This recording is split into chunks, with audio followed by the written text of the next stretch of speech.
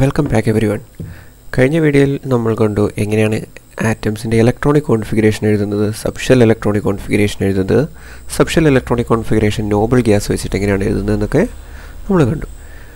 ഈ വീഡിയോയിലൂടെ നമ്മൾ ഇലക്ട്രോണിക് കോൺഫിഗറേഷൻ കുറച്ച് ഡിഫറെന്റ് ആയ രണ്ട് എലമെൻസിനെ പറ്റിയാണ് ആദ്യമേ നോക്കുന്നത്.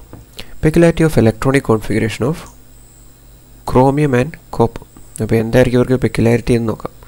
Write the subshell electronic configuration of chromium twenty four എന്തായിരിക്കും സബ്ഷൽ ഇലക്ട്രോണിക് കോൺഫിഗറേഷൻ നമ്മൾ എഴുതിയാൽ it will be one s two two s two two p six three s two three p six three d four and four s two ആണ്. നമ്മൾ പഠിച്ച order പ്രകാരം three d four four s two ആണ്. Four S ആദ്യമേ fill ചെയ്തു. അതിനുശേഷം but the stable electronic configuration of chromium is one s two two s two two p six three s two three p six three d five and four s one ആണ്. എന്തുകൊണ്ടാണ് three d five and four s one stable ആയിട്ടുള്ള configuration three d five four s one ആണ്. എന്തുകൊണ്ടാണ്?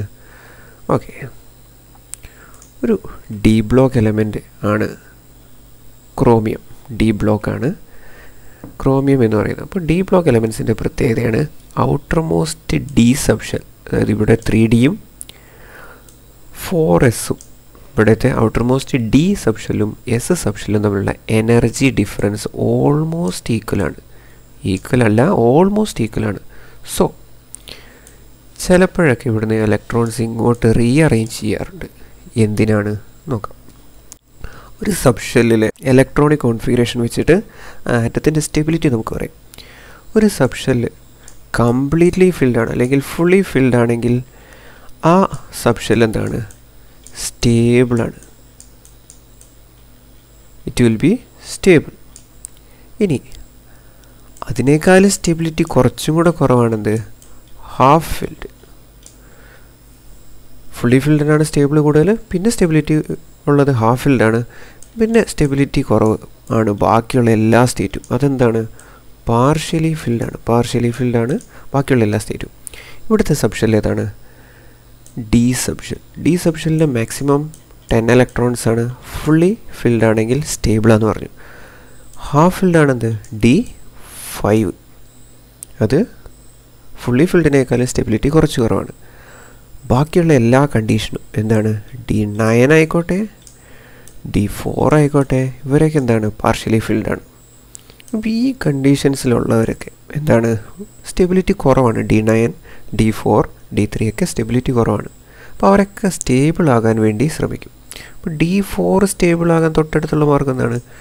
D five ആകുക. ഇനി d nine stable ആകാനുള്ള അടുത്ത ഏറ്റവും എളുപ്പമുള്ള മാർഗം എന്താണ്? ഡി ടെൻ ആകുക കംപ്ലീറ്റ്ലി ഫിൽഡ് ആകുക. അതിനുവേണ്ടി എന്ത് ചെയ്യും? ഈ ഇലക്ട്രോണിക് കോൺഫിഗറേഷനിൽ കണ്ടു ഫോറസിന് തൊട്ട് ചേർന്നിട്ടാണ് ത്രീ ഡി സബ്ഷൻ അപ്പോൾ ഫോറസിൽ നിന്ന് ഒരു ഇലക്ട്രോൺ എസ്സിൽ നിന്ന് ഒരു ഇലക്ട്രോണിനെ ആര് വാങ്ങി? ഡി സബ്ഷനിലേക്ക് കൊടുത്തു. അപ്പോൾ അവിടെ എന്ത്? എസിൽ രണ്ട് ഇലക്ട്രോൺ ഉണ്ടായിരുന്നു. ഡിയിൽ ഫോർ ഇലക്ട്രോണേ ഉള്ളൂ.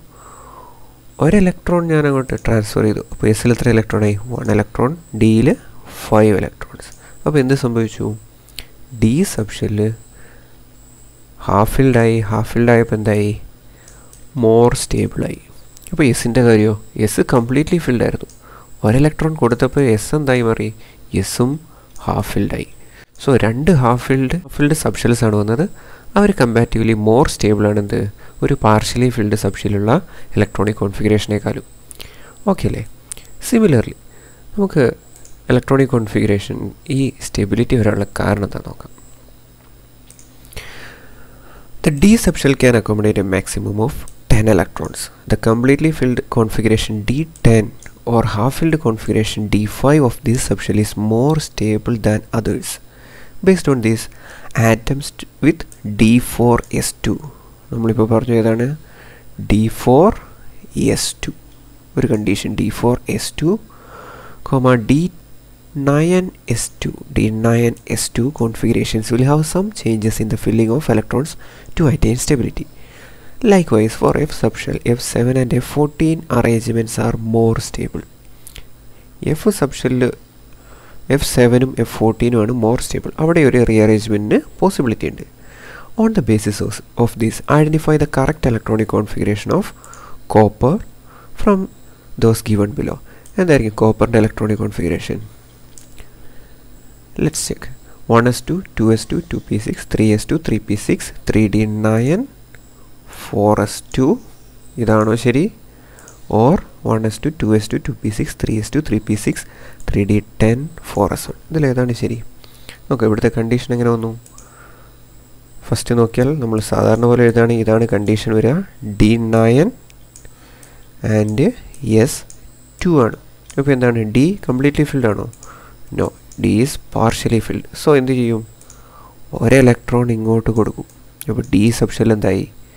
It will be completely filled or fully ഫിൽഡായി അപ്പോൾ എസിന്റെ കാര്യമോ? എസ് ഹാഫ് ഫിൽഡായി എസ് വണ്ണും ഡി ടെന്നും ആയിട്ട് മാറുന്നു so it will be more stable അപ്പോൾ ഏതാണ് കറക്റ്റായ electronic configuration d ten four s one അപ്പോൾ ഇങ്ങനെ ഇലക്ട്രോണിക് കോൺഫിഗറേഷൻ പെക്യുലാരിറ്റി കാണിക്കുന്ന രണ്ട് എലമെന്റ്സ് ആണ് ഏതൊക്കെ chromium and copper for the subshell electronic configurations of chromium and copper the configurations with half filled d subshell D subshell show greater stability എന്താണ് half ഫിൽഡോ അല്ലെങ്കിൽ completely subshell സബ്ഷനിലാണ് greater stability കാണിക്കുക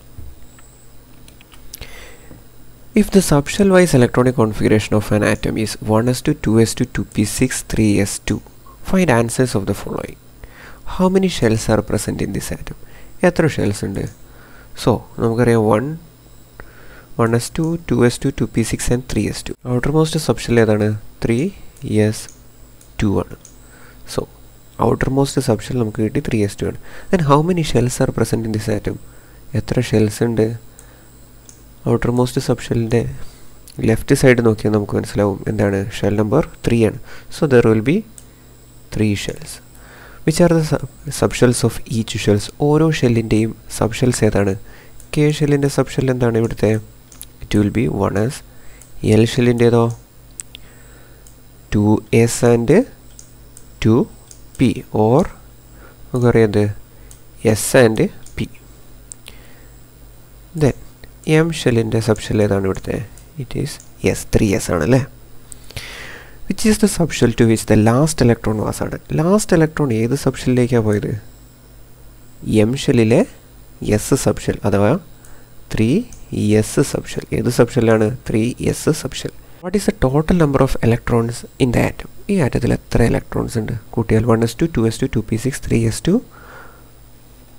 കൂട്ടിയാൽ എത്ര ഇലക്ട്രോൺസ് കിട്ടും? Will get twelve electrons what is its atomic number atomic number എത്രയായിരിക്കും number of electrons is equal to number of protons is equal to atomic number. Atomic number is 12 how can the shell subshell electronic configuration be written in എങ്ങനെ short ഫോമിൽ എഴുതുന്ന subshell electronic configuration തൊട്ട് പുറകിലുള്ള noble gas ഏതാണ്? It is neon ബാക്കി three s two neon three s two ആണ് subshell electronic configuration atomic number ട്വൽവുള്ള ഈ element ഏതാണ്?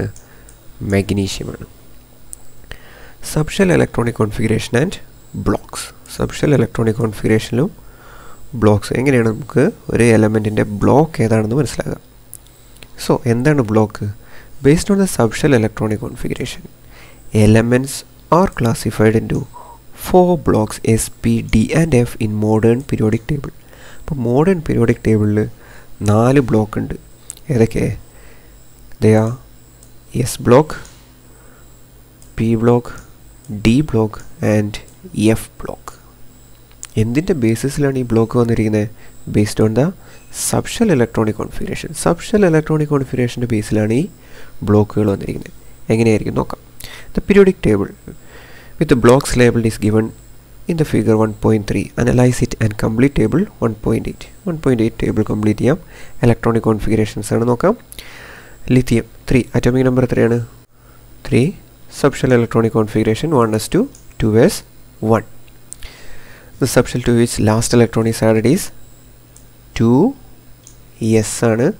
സോ ഏതായിരിക്കും block s block next magnesium twelve നമ്മളിപ്പോൾ എഴുതിയിട്ടുള്ളൂ. One s two two s two two p six three s two ഏതാണ് subshell s സബ്ഷെല്ലാണ് ഏതാണ് block s block next one nitrogen one s two two s two two p three ഏതാണ് last subshell P ആണ്. So ഏത് block ആയിരിക്കും? It will be p block scandium 21 electronic configuration is 1s2 2s2 2p6 3s2 3p6 4 3d1 4s2 Last subshell ഏതാണ് it is d subshell so it will be a d block element which is the subshell of lithium to which last electron was added ലിഥിയത്തിന്റെ last electron ഏതിലേക്കാണ് add ചെയ്തത് s സബ്ഷെല്ലിലേക്ക് what about the subshell to which last electron of nitrogen was added നൈട്രജന്റെ last electron ഇതിലേക്കാണ് add ചെയ്തത്?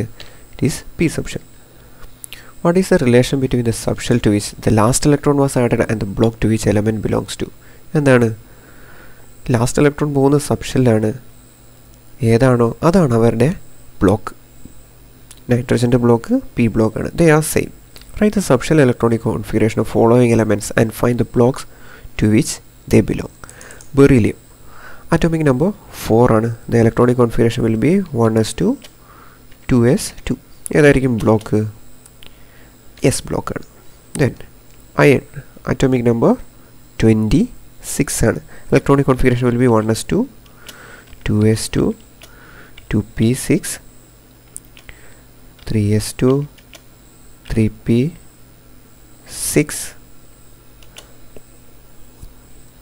three d six and four s two so ഏതാണ് block block is d block last electron fill ചെയ്തത് D സബ്ഷെല്ലാണ് so D ബ്ലോക്കാണ് argon eighteen electronic configuration എന്താണ്? One s two two s two two p six three s two and three p six last electron ഇതിലേക്കാണ് പോയത്. P സബ്ഷെല്ലാണ് so it belongs to p block അതൊരു P block element ആണ്.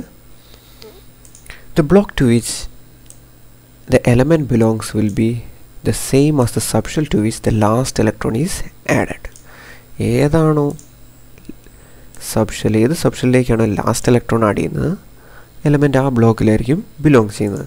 In periodic table elements in the group one two one and two belong to s block those in the groups 13 to 18 belong to P block and those in groups 3 to 12 belong to D block. The elements in the F block are placed at the bottom of the periodic table in two separate rows. അപ്പോൾ periodic ടേബിളിൽ നമ്മൾ കണ്ടു left സൈഡിലെ രണ്ട് ഗ്രൂപ്പുകൾ group number one and group number two S ബ്ലോക്കാണ് P block thirteen to eighteen P ബ്ലോക്കാണ് three to twelve D ബ്ലോക്കാണ് ദെൻ ലാസ്റ്റ് രണ്ട് പീരീഡുകൾ separate ആയിട്ട് എഴുതി താഴെയായിട്ട് എഴുതിയിട്ടുണ്ട് f block elements the period and group can be found on the basis of subshell electronic configuration. You know how to find the period number of an element on the basis of its shell-wise electronic configuration. Let us see how to find the period from subshell electronic configuration. Complete the table.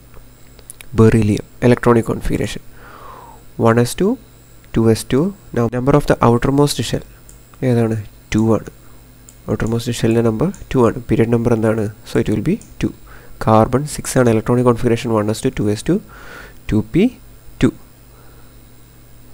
number of the outermost shell two ആണ്. So period എന്താണ്? Two ആണ്. Sodium eleven outermost shell ഏതാണ്? Three S one ആണ്. So shell number എന്താണ്? Three ആണ്.